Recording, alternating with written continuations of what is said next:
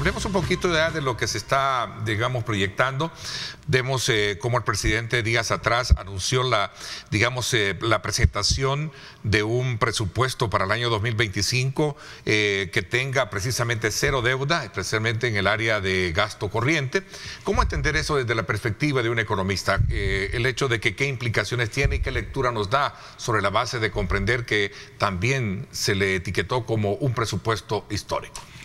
Bueno, para mí el mensaje es positivo, pero debemos de entender cuáles fueron las verdaderas palabras que el presidente Bukele dijo el día 15 de, de septiembre. Él dijo que el presupuesto no iba a traer nada de deuda para gasto corriente, para deuda de inversión, si para obras de inversión se iba a traer aunque no lo quiera porque ya tenemos nosotros lo que se conoce como préstamos de arrastre, que ya préstamos que han sido firmados en los eh, años anteriores, cuyos desembolsos duran a veces hasta 5 o 6 años. Y eso vamos a seguir teniendo ese tipo de desembolsos y que implican también deuda.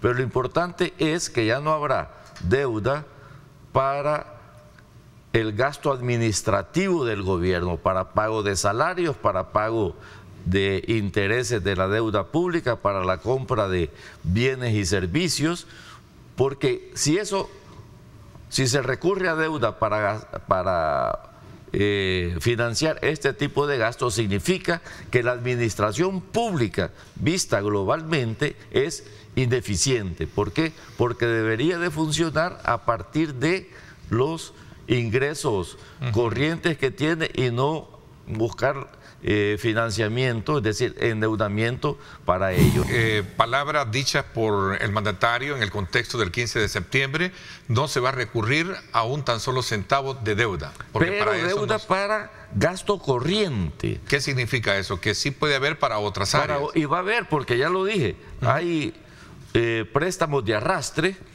que, va, que, que implican que que estos préstamos se contrataron 3, 4 años atrás y que para el año 2025 todavía tendremos desembolso y eso implica operación de deuda. Y si va a necesitar deuda que para salud, para educación, etcétera, ahí también irá endeudamiento, es decir, nuestra incluso nuestra legislación en lo que es la ley de la administración financiera del Estado, ahí expresa y tácitamente prohíbe financiarse, es decir, endeudarse para gasto corriente. Lo que está haciendo el señor presidente, el ministro de, de, de Hacienda, es precisamente ceñirse a lo que dice nuestra legislación en esa, en esa temática.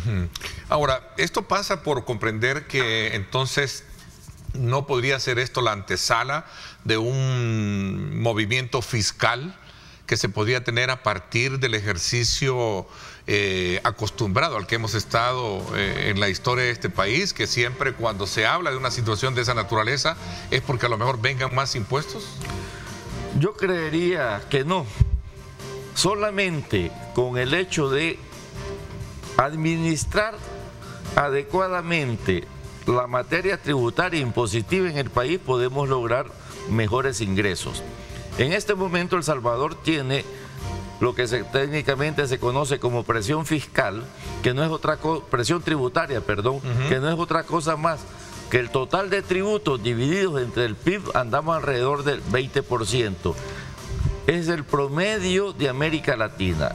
El Salvador jamás había tenido tan alto este, este ratio.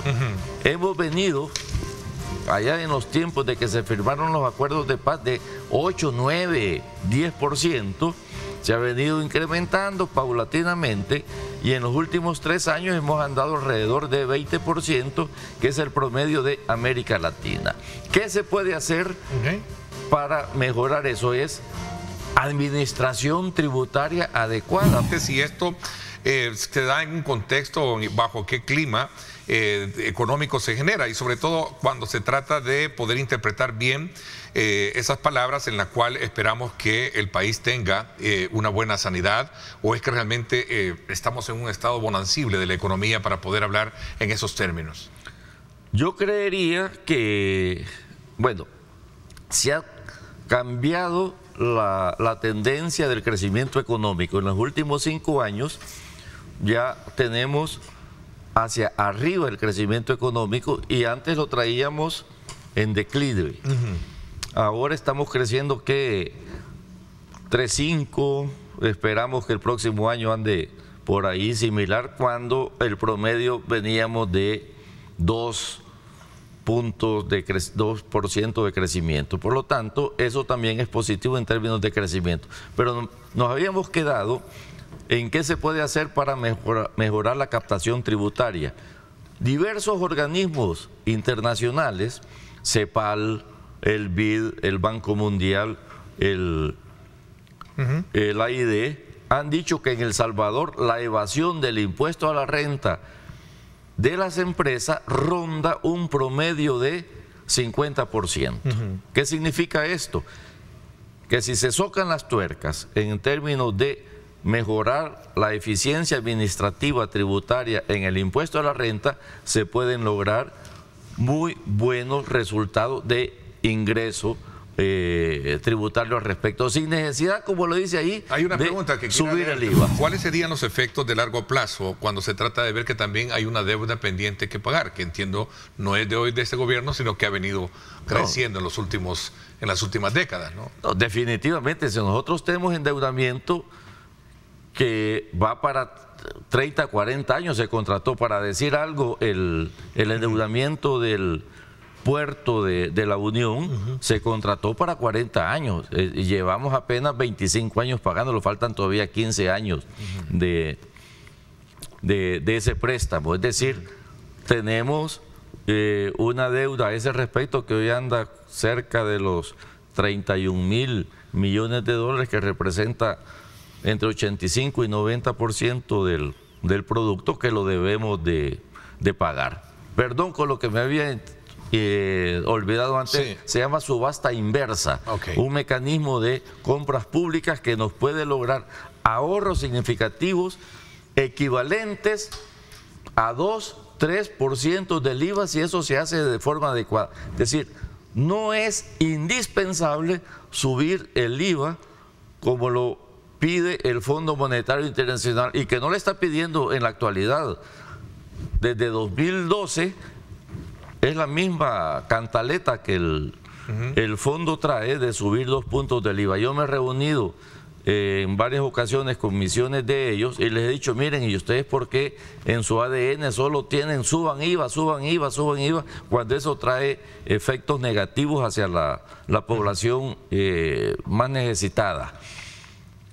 está en su ADN. Cuando uno les dice, miren, hay otros eh, métodos alternativos para lograr probablemente mejores resultados y eso ustedes no lo, no lo aplican. Deberían de hacerlo. es, sinónimo, es sinónimo de, quitar plazas, de eliminar plazas dentro del Estado. Es de eliminar plazas, pero no necesariamente desempleo porque son plazas que no han estado utilizadas, que venían en el presupuesto 2024, no han sido ocupadas, por lo tanto dice, para el presupuesto 2025 esas plazas ya no van. Además dice, miren, eh, las personas que están en edad de jubilar, por favor, eh, jubílenlas para darle espacio también a los jóvenes que no están logrando ingresar al mercado laboral porque arriba hay un tapón, así se le llama eh, en términos de,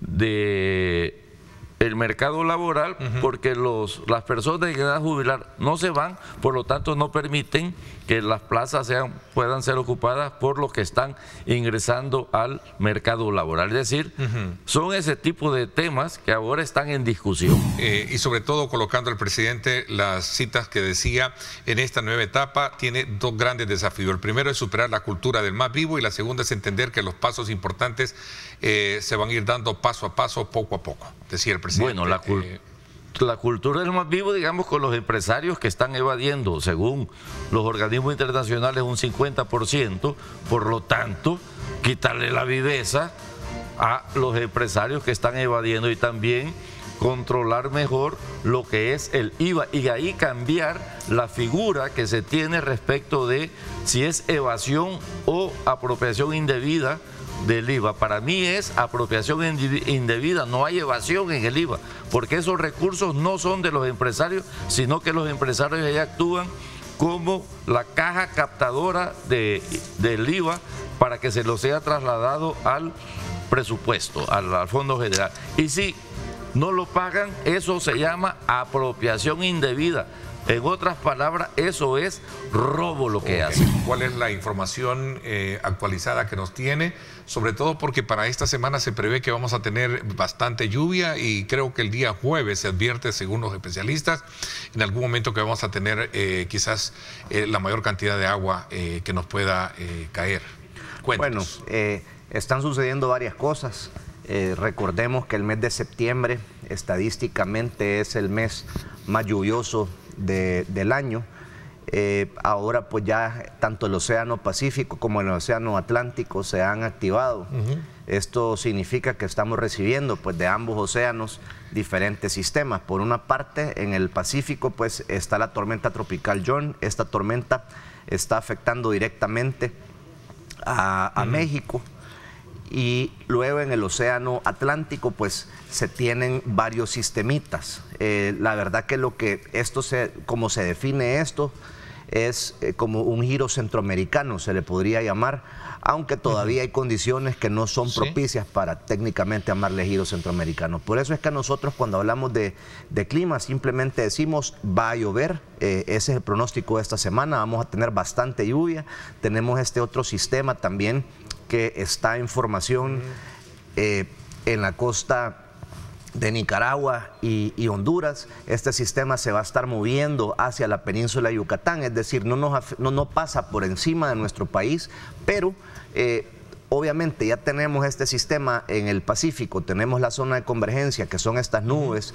que se acercan a la costa. Vamos a poner ahí está la imagen satelital con este. Y luego tenemos el, este otro sistema que está allá en, en el Atlántico y todo esto se combina y lo que nos produce, digamos, la suma de todas estas, de todos estos factores que tenemos, pues es este campo de presionario que nos está dejando acumulados de lluvia eh, bastante significativos. ¿Qué tanta lluvia ha caído? Bueno, desde el día 20 de septiembre ya tenemos acumulados bastante significativos en algunas zonas. Ha llovido en el 100% del territorio nacional.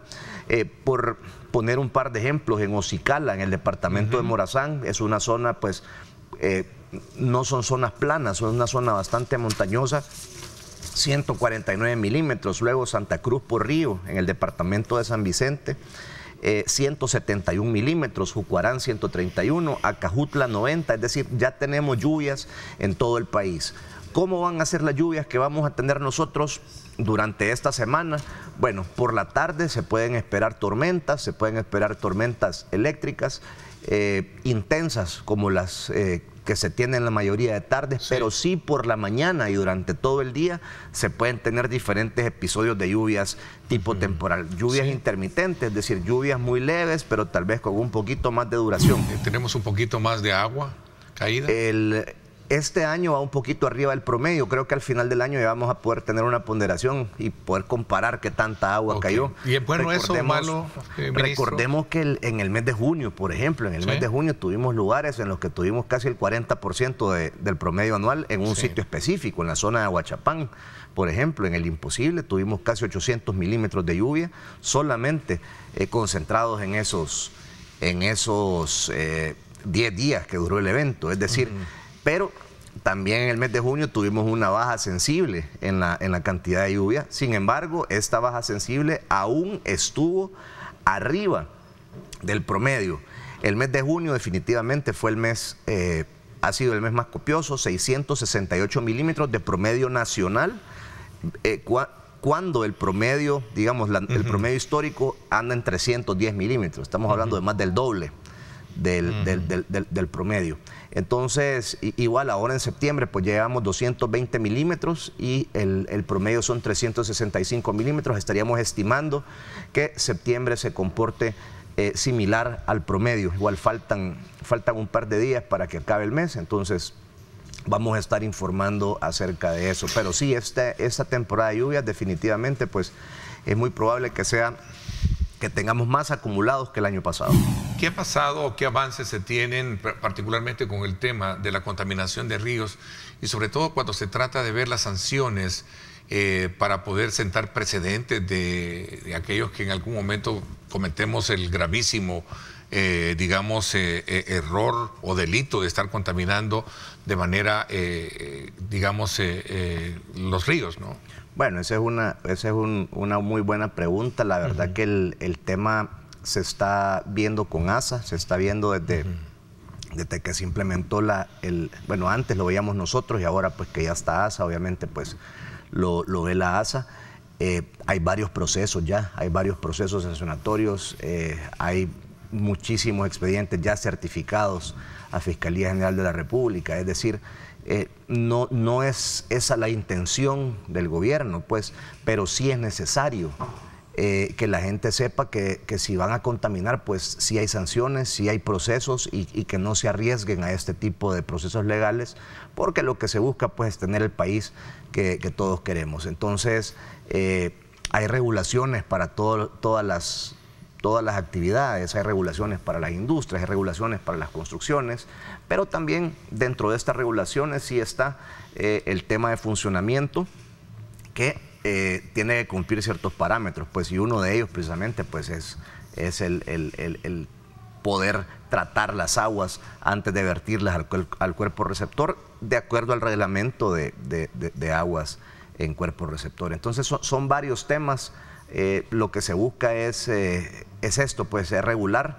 Sí hay bastantes procesos, ah, no, no, no, podemos hablar mucho de eso porque son procesos que ya están en las instancias legales correspondientes, pero sí se está trabajando en ese sentido.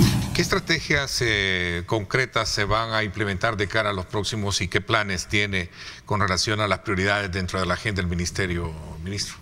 Bueno, primero, y lo menciono porque estuvimos hablando de eso al comienzo, el, fortalecimiento de los sistemas de alerta temprana. Los sistemas de alerta temprana son sumamente importantes. Aquí estamos hablando de la modernización, el mantenimiento de nuestra red de radares, implementación de tecnología nueva, también implementación de todos estos modelos con inteligencia artificial que ya se tienen, los modelos eh, predictivos para poder ser mucho más exactos en el pronóstico meteorológico. Estamos próximos a lanzar el app de sismos, eh, que es, eh, es algo eh, que, va a poder usar. ¿Nos va a advertir 30 segundos o segundos como lo hemos visto en otras aplicaciones que ya sale en los teléfonos, ministro?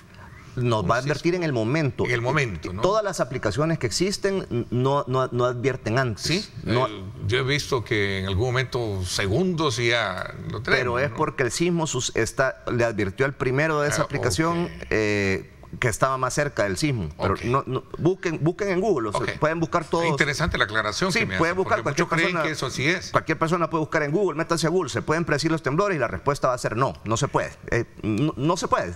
Son cosas que suceden 50 kilómetros bajo tierra y lejos de nosotros, no hay manera de predecirlos. Entonces, eso con un pequeño eh, en Google ahí se, soluciona. Eh, luego de eso, pues eh, está hablando de los programas nuestros, el programa Árboles para El Salvador, que seguimos reforestando, no solamente dentro de áreas protegidas, sino también trabajando con eh, organizaciones, con empresas privadas para poder eh, sacar de los viveros la mayor cantidad de árboles que, podamos nosotros. Entonces nosotros tenemos nuestros programas de de, siembra y de reforestación, pero también tenemos programas que en los que pues donamos árboles y, esto pues ¿Y hay suficiente de plantas de árboles que los que se están sembrando en la ciudad capital que pidió el presidente de la República? No solamente, no solamente árbol de fuego que es, ¿no? No solamente hay, hay suficiente, sino que cada una de las especies se siembra eh, de acuerdo al, al, al tema de eh, de, acuerdo al, lugar, pues. O sea, no, no, no se pueden, todo depende de la temperatura, todo depende de la altura, depende de la, de la ubicación, condiciones de humedad, condiciones de viento, etcétera. Entonces, eh, pues eso básicamente. Eh, el tema relacionado a programas de educación y concientización ambiental es indispensable para una sociedad como la nuestra que tiene precisamente esas debilidades. ¿no? ¿Qué se está haciendo?